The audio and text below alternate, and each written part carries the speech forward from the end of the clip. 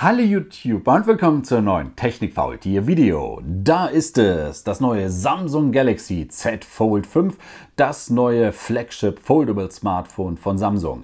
Da oben liegt noch das Vierer, mit dem vergleichen wir das Fünfer mal ganz kurz und versuchen zu ergründen, warum Samsung den Preis um 100 Euro erhöht hat. Wir packen das Fold 5 jetzt zusammen aus, gucken es uns einmal an, gucken, was ist alles dabei. Ich hatte es ja schon in Händen und erzähle einfach so ein bisschen aus dem Nähkästchen und eine Sache, die mir beim, äh, beim kleinen, beim Flip 5 noch gar nicht so aufgefallen ist. Auch hier wieder, dünne Verpackung bedeutet kein Netzteil in der Box. Aber diesmal schreibt Samsung es direkt drauf, ne, mit diesem Symbol, kein Netzteil in der Box. Und wenn du dir eins kaufen willst, dann guck mal, dass es 100, äh, 10 bis 25 Watt hat. 25 Watt ist das, was Samsung Fast Charging nennt. Äh, ja, drahtloses Laden geht auch mit 10 Watt und Reverse Wireless Charging ist auch noch mit dabei. Der Akku ist mit 4400 mAh gleich geblieben.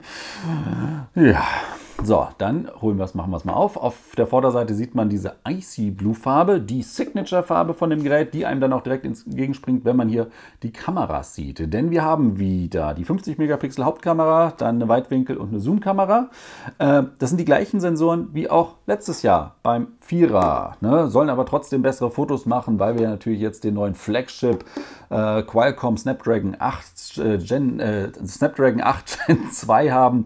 Der hat auch einen neuen ISP, also der äh, Bildverarbeitungsprozessor und die Software wurde, naja, ihr könnt es euch denken. Es soll schneller sein, es soll bessere Fotos machen, alles soll tollerer sein, aber das gucken wir jetzt gleich erstmal ran. So, unter dieser schwarzen Folie verbirgt sich das Gerät. Ne, machen wir auch mal fix einmal auf und, und, und und jetzt, da ist es. Vorderseite wenig unspe also unspektakulär, Rückseite relativ auch. Äh, der Formfaktor ist gleich geblieben. Ne? Äußeres Display, inneres Display. Wobei ich glaube, beim äußeren Display sind jetzt auch 1 bis 120 Hertz. Wir haben den glänzenden Rahmen, aber zum Glück ist die Farbe matt geblieben. Wir schalten es auch direkt mal ein, damit wir was erkennen können. Uh, im aufgeklappten Zustand fährt er natürlich uh, innen und außen hoch. Ich glaube, darüber habe ich mich letztes Jahr auch schon mal gefreut. Da weiß man gar nicht, wo man einrichten soll. Aber eine Sache fehlt, denn die Bodenbox ist jetzt leer. Wo ist denn jetzt hier irgendwie Zubehör noch, was da dabei ist? Im Deckel versteckt. Wenn der beim Öffnen nicht rausgeploppt ist, einmal reingreifen und dann irgendwo an der Lasche ziehen wahrscheinlich. Klappe aufmachen. Ah, da. Klappe aufmachen und dann einfach rausziehen und dann bekommt ihr ein USB-C auf USB-C-Kabel, ein SIM-Kartentool und eine Quickstart-Anleitung und das Kleingedruckte. Wobei man sagen muss, Quickstart, naja, ähm, beim Fold 5 ist es so, ihr könnt zwei physische Nano-SIM-Karten reinpacken oder eine Nano-SIM-Karte und eSIM machen. Das geht auch. Ähm, Drei Karten gehen nicht und eine Speichererweiterung haben wir auch nicht. Erfreulich, das Fold fängt auch dieses Jahr wieder erst mit 256 GB Speicherplatz an, kostet dann 1900. Doppelter Speicher, 256 GB Version. Die 1 TB Version gibt es mal wieder nur bei Samsung, weil Samsung die schönsten, besten, tollsten sind. So, es ist einmal hochgefahren. Uh, wir sehen ja auch schon direkt was. Schön, schön, schön. Da möchte ich sagen, ihr seht auch nach wie vor die Falte. Ne? Aber Samsung hat die Beschichtung geändert. Und gerade beim 5er, äh, beim Fold im Vergleich zum Flip, hat man das Gefühl, es ist, das Display ist härter geworden. Ne? Fühlt sich auch härter an. Man merkt immer noch, nicht mit dem Fingernagel drauf drücken. Nein, nein, nein, nein, nein. Uh, die Warnungen sind auch verschwunden, die wir sonst immer hatten. Ähm, ne? äh, aber ähm, das soll dazu führen, dass es sich besser anfühlt und auch ähm, länger durchhält. Gerade bei den Foldables gab es ja hier und da dann doch Probleme bei ne, intensiven Nutzern. Ne? Ja, muss man ja auch sagen, aber Samsung sagt diesmal, haha, wir haben dazugelernt, damit hält das Display länger. Hoffentlich, gucken wir es mal an. Es fühlt sich auf jeden Fall schon mal härter an. Auch wie gesagt, trotzdem vorsichtig mit Fingernägeln und dieses Plastikfeeling ist ein bisschen da und die Spalte seht ihr auch. Wenn ihr sie sehen wollt, dann seht ihr sie genauso wie die Frontkamera, wo es ja irgendwie hieß, die Pixeldichte über dem Ding wurde besser, dass man das, die 4 Megapixel Frontkamera, die eh keiner nutzen sollte, weniger sieht.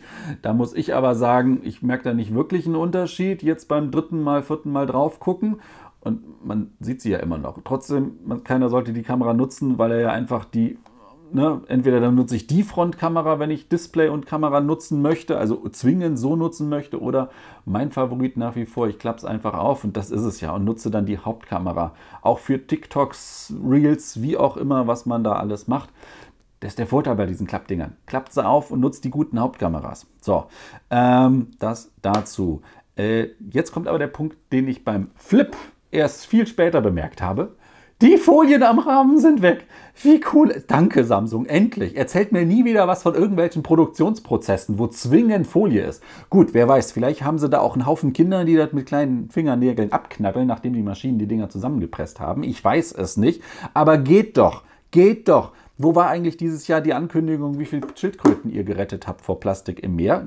Gab es nicht, aber endlich keine Folie mehr drauf, wo ich hier nicht über Stunden knibbeln muss. Spoiler, die Tablets, die S9er haben überall Folien wieder drauf. Aber mühsam ernährt sich das Einhörnchen. Jedes Jahr ist eine, eine Produktkategorie bei Samsung folienfrei. Also, habe ich vergessen, beim Flip mich drüber zu freuen, deswegen jetzt doppelte Freude beim Fold, dass die Folien weg sind. Jetzt wisst ihr alles, was dabei ist. Kann ich noch was zum ersten Eindruck erzählen?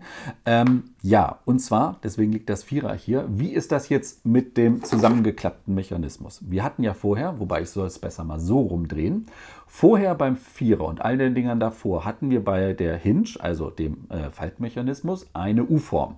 Das führte dazu, dass es da schmaler ist als da. Der eine oder andere schreit MacBook Air. Ja, also, ne, genau, so.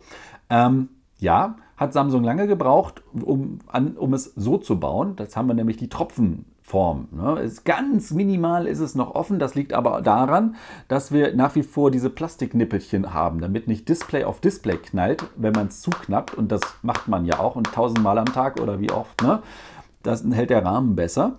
Ähm, aber das sieht natürlich deutlich schicker aus. Wenn ich es hier anpacke, dann merke ich auch einen Unterschied. Ja. Ich muss aber ganz ehrlich sagen, gerade wenn ich wieder jetzt ein paar Minuten wieder beide in der Hand gehabt habe oder auch in den letzten Tagen, das ist nicht der Gamechanger. Das ist eine optische Sache, ja. Dass die Dinger oder dass das Fünfer 10 Gramm Pi mal Daumen leichter geworden ist als das Vierer, das merkt man mehr. Wenn ich beide in die Hand nehme, ich sitze hier, der eine oder andere sagt, hier stell dich nicht an, das kannst du nicht. Wir haben wir es auch blind verkostet sozusagen. Man merkt es. Man merkt wirklich, welches das Fünfer ist und was das Vierer ist. Das fühlt sich besser an ist es jetzt, muss man auch sagen, das sind hier kleine Trippelschritte. Denn auf den ersten Blick, klar, die Software wird besser, aber die neue Software kriegen die anderen alten Foldables auch. So, jetzt haben wir hier eine neue Prozessorgeneration. Statt dem 8 Plus Gen 1 aus dem letzten Jahr haben wir jetzt den 8 Gen 2. Aber das ist normale Smartphone-Entwicklung, das haben wir immer. Ne? Dann haben wir hellere Displays, beziehungsweise ich glaube, das Innendisplay ist hauptsächlich das hellere dann geworden. Ne? Ja, schön, wenn es denn so ist. Testen wir natürlich noch.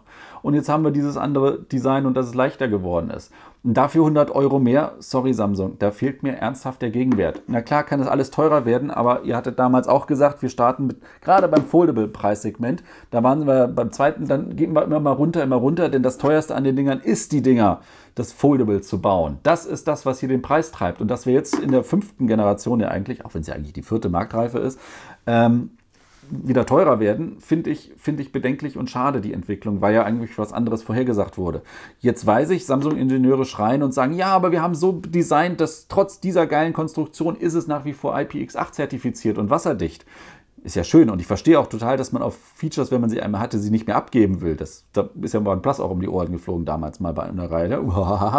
Ja, aber irgendwie nein. Also, die 90, also das sehe ich dieses Jahr nicht. Also es ist wieder das Minimalste gemacht, was ging von da auf da. Ne? Das, ist, das ist so schade. Und wenn man sich das Flip mal anguckt, ja, das äußere Display ist jetzt ein größeres Display und besser nutzbar und freue ich mich, da, da sieht man wenigstens einen kleinen Fortschritt.